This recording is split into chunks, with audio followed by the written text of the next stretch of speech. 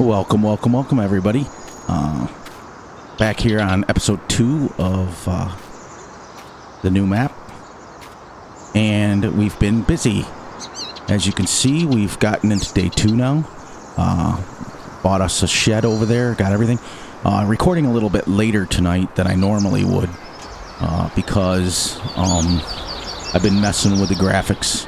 Huge shout out to a couple people. Uh, uh, my son, who absolutely helped me with the graphics, and you know, Raznik from uh, YouTube helped me with some graphics. Um, but we're gonna make sure that we definitely um, see this through. And we're just plowing, and what I've been doing is adding. Uh, we're just creating a field here, and I'll do that in a second here. As soon as I get this turned on. There we go. And as you can see by way over there, we are creating this absolutely huge field. That's what we did yesterday. Um, finished up. And hopefully doing some better things with life. Hope everything's doing good.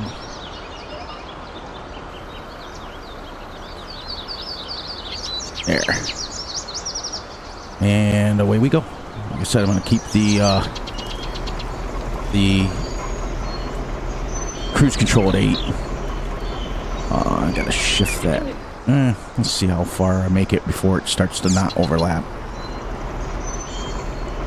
Um, but, you know, like I said, uh, I'll keep it about right there. The I was having some issues with OBS, major issues at that, to uh, every time that I would record and then play it back, it would come out super blurry, and I was super not excited with it. Uh, posted on YouTube, and I was like, okay, I got to get the videos out. But they were super blurry. Um, but uh, the the couple people that I talked about a few minutes ago were helped me with the graphics, and hopefully when I play this back, it'll be really nice.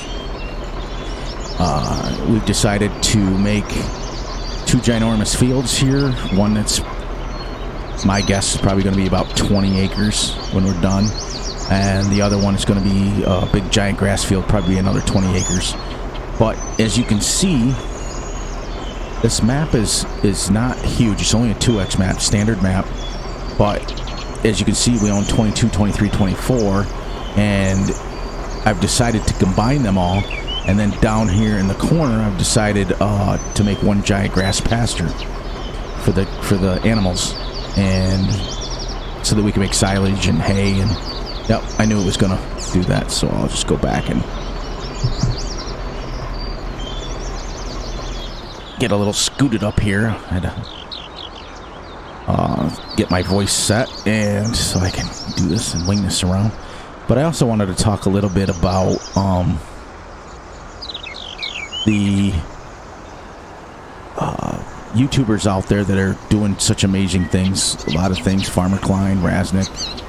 Um, they're doing some great stuff for the community. Virtual Farmer, all those guys. Farm Sim Guy, uh, Simulation for the Nation. Uh, you know, just take a chance and uh, watch all of their videos because everyone's got a different way to do things. Everybody's got uh, their own way to do things. And what I want to do is just uh, I want to keep it as real as I can uh, without.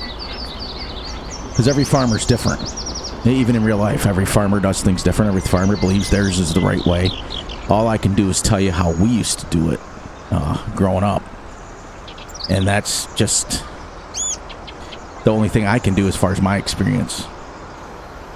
So I may be uploading this in the morning because uh, it's quarter to two in the morning where I'm at and it's just um, I spent once everybody went to bed I spent about three hours just trying to monkey with this with the graphic settings and getting them correct and trying to make it perfect and that's why I'm filming. So but we finally made it into day two. Uh, 10x speed the, the speeds just go go go go. And that's cool because it'll keep us moving uh, I also have to remember to get some grass down in the cow pen. Because on the other map, it uh, when I placed the cow pen down, it placed grass with it. This one didn't, and I think it's because this map is just a stock map. I think it's just the way it is. So I'll just paint grass. But the new seasons update they did, uh, once you paint grass, it allows it to grow. Uh, the other thing I'm going to do in this video is just um, explain how things would work. Like in real life, you wouldn't subsoil at 8 miles an hour. It just wouldn't work. You'd break all the tines off on it, and it just, uh, it's too fast. You would probably go, what we used to go is, you know, 2 to 3 miles an hour. Uh, and that's just cold hard facts. Uh, you know, um, that's why farmers, a lot of farmers these days, are going to the no-till. They're just going to cultivate it because you can cultivate it 10, 15 miles an hour and it's fine because you can fly right along. You know, seventh, eighth gear on your tractor and you can just do it. Um, but a subsoiler, especially one like this, that rips it, you know, 18, 24 inches into the ground, um, you're not going to go that fast.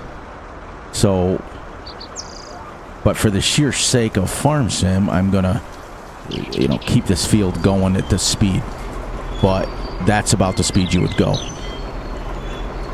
You know, two, three miles an hour. And you would just go. Because tines on a, on a subsoiler or a plow are rather expensive to buy. But as you can see, we've we've accomplished quite a bit. Um, we've gotten. I'll show you. Uh, seven and seven point five five acres plowed already. Um, and that's just these few passes. Um, and that's it, this field is going to be ginormous when I'm done. It may take me two or three days, but uh, you know, in, in real life, we had a 60 acre bean field that we fed to the cows, and 60 acres, you know, took four days, you know, just to get harvested, and it would take four or five days to plow it. Uh, and that's plowing it for 10, 12, 14 hours a day. And uh, would take you four days. Uh, so the commercial farmers out there, the way they do it up Midwest and Iowa and Indiana and big, big, big farmers, Wisconsin, they just uh, they have huge equipment, multiple, multiple workers. Uh, if you ever watch those videos, just YouTube them. You know, um, you know, put in wheat harvest, and you in in Texas, for example, and they've got five, six, seven combines going at once, and you know, 15 meter wide headers on them. Well, actually, you know, 55 feet wide. Um, and they've got multiple grain cart guys. There's usually 10, 12, 14 guys in a field at one time. But the small time farmers don't do that. Small time farmers just go um, one guy, two guys, maybe, you know. When I was growing up, we only had the luxury of, you know, me, my dad, and uh, the neighbor kid, which ended up being my brother in law later, married my sister.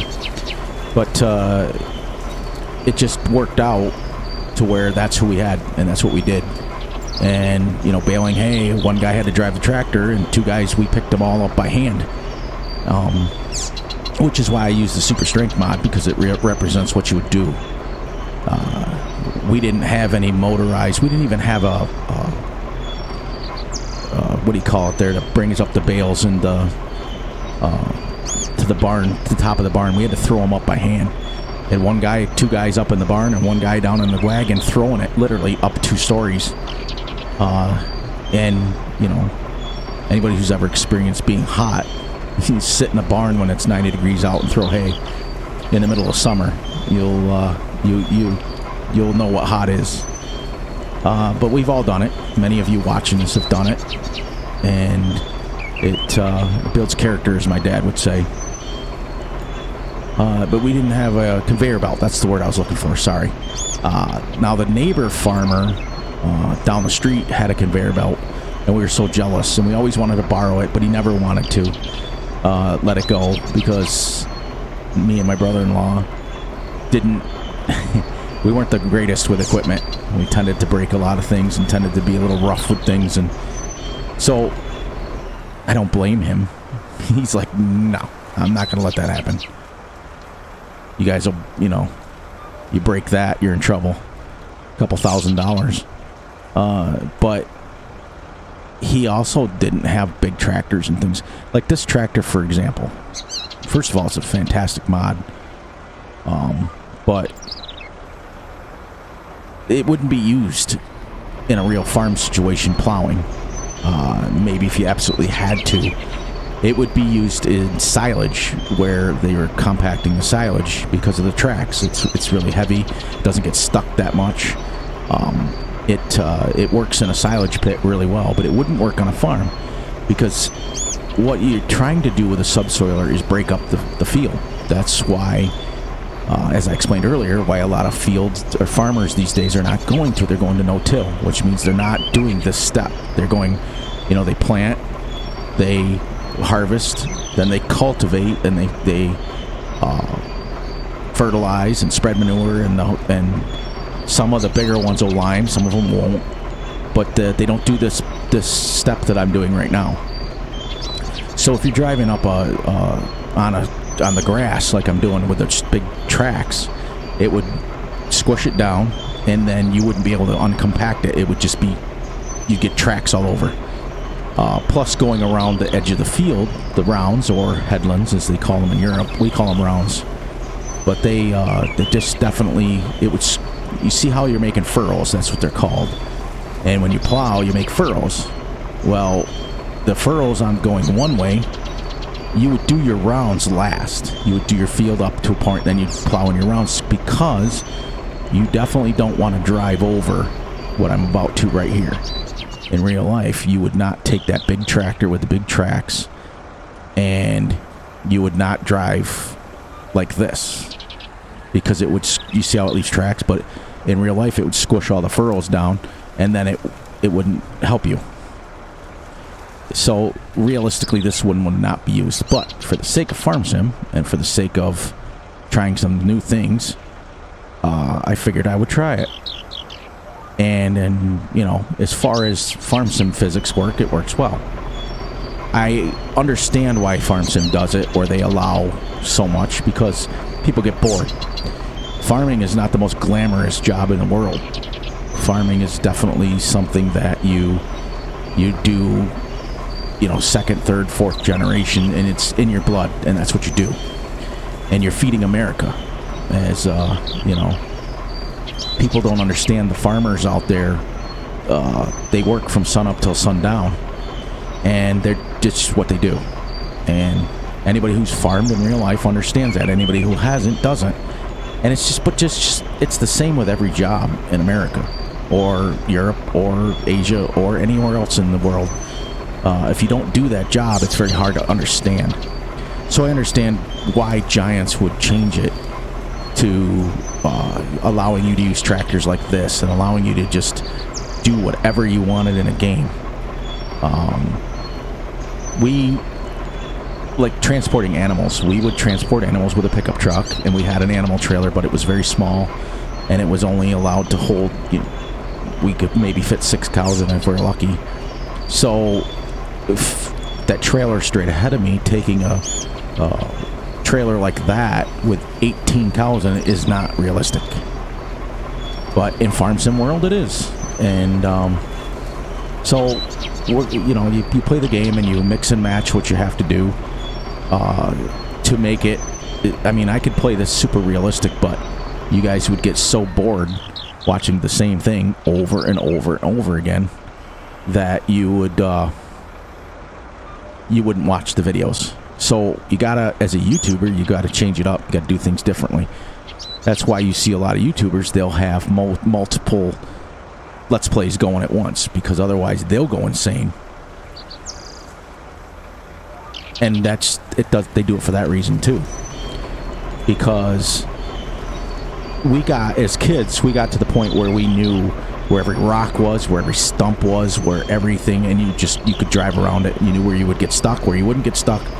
And it just it's it's a mundane job. Uh, we had a lot of fun at it. We tried to make it a lot of fun. But farming isn't necessarily fun. It's work like when you get up every morning and go to work, you uh, that's what you do. And uh, you know. Let's check in on our local. Uh, we're almost at 10 acres already. Uh, take a quick spin over here. You see, we've got a long ways to go. It might even be 30 or 40 acres by the time we're done with this. And if it takes me all of spring or all of early spring to plow, that's that'd be more realistic, anyways. I am finding out that uh, 10x speed uh, keeps the time flowing enough to where it feels like real life. Like in real life, you would plow or subsoil, you know, probably maybe one or two acres an hour uh, if you're lucky. So at the end of the day, 12, 14, 16 hour day, you're doing 16, 20 acres. On the commercial farms, uh, where they have, you know, 20 meter, 25 meter, you know, cultivators and things. They in seven, eight guys, ten, like I said earlier, seven, eight, ten guys doing it. They can plow a thousand acres in a day, or I mean, cultivate a thousand acres in a day. They can seed a thousand acres in a day. Um, and it also goes by, you know, not only what size equipment, but what kind of help you have. And like I stated in the other video, video the other day, is that commercial farmers, they've got money for that stuff. They don't make a lot of money farming. Nobody does